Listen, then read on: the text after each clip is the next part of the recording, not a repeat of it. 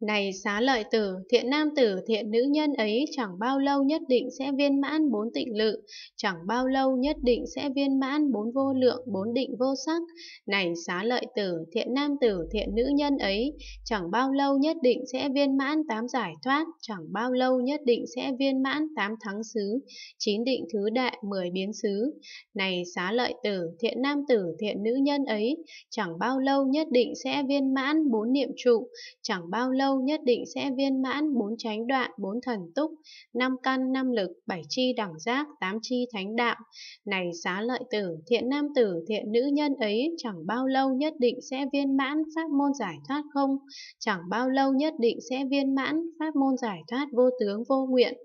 Này xá lợi tử, thiện nam tử, thiện nữ nhân ấy, chẳng bao lâu nhất định sẽ viên mãn mười địa Bồ Tát. Này xá lợi tử, thiện nam tử, thiện nữ nhân ấy, chẳng bao lâu nhất định sẽ viên mãn năm loại mắt, chẳng bao lâu nhất định sẽ viên mãn sáu phép thần thông.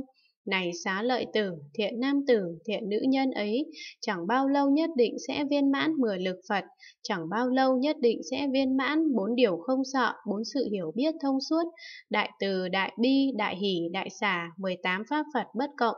Này xá lợi tử, thiện nam tử, thiện nữ nhân ấy, chẳng bao lâu nhất định sẽ viên mãn pháp không quên mất, chẳng bao lâu nhất định sẽ viên mãn tánh luôn luôn xả, này xá lợi tử, thiện nam tử, thiện nữ nhân ấy, chẳng bao lâu nhất định sẽ viên mãn trí nhất thiết, chẳng bao lâu nhất định sẽ viên mãn trí đạo tướng, trí nhất thiết tướng. Này xá lợi tử, thiện nam tử, thiện nữ nhân ấy, chẳng bao lâu nhất định sẽ viên mãn tất cả pháp môn Đà La Ni, chẳng bao lâu nhất định sẽ viên mãn tất cả pháp môn Tam Ma Địa.